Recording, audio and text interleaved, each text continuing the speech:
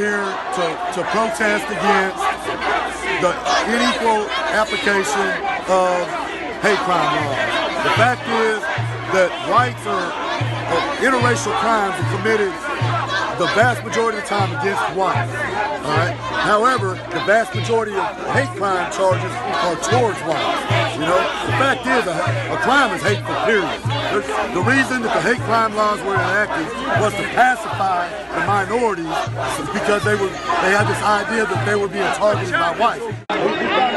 One word of advice,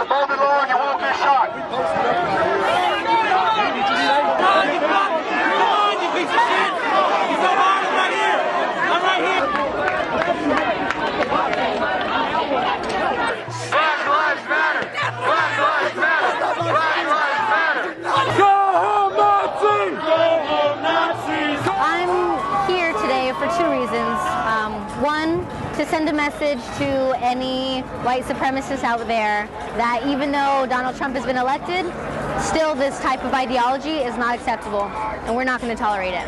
And two, to send a message to targeted communities, uh, immigrant communities, LGBTQ, you know, just women, uh, to let them know that we're going to fight alongside them, that we're here to support them, that we're not going anywhere. The whole point of Black Lives Matter is not to say that white lives don't matter, but that black lives don't matter to society and that all lives will matter when Black Lives Matter.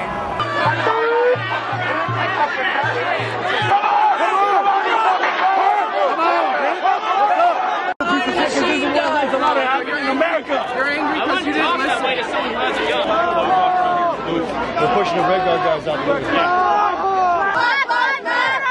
Black Lives Matter! I'm here really because of the counter protest. If there wasn't a counter protest, I wouldn't have come out here. I don't think it's right for me to be called a Nazi for saying that my life matters, his life matters, his life matters. I think there's a big double standard, and I don't think I should be called a Nazi for saying that my life matters. Say